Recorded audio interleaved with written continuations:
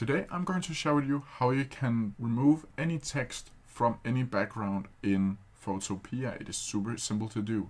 So first of all what you need to do is open up your photo with your text on it.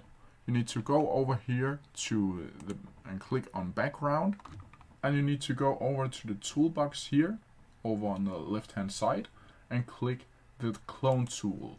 You can also click S. From here you just need to hold alt in and then you can just paint over the text like so. It is super simple like that. And you can just do it easy peasy like this.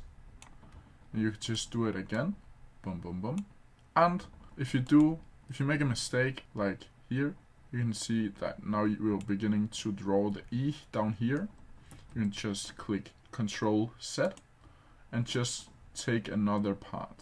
This is basically how you do it. If you have any questions, leave them down in the comment section below and I'll try my best to answer them as quickly as possible. See ya!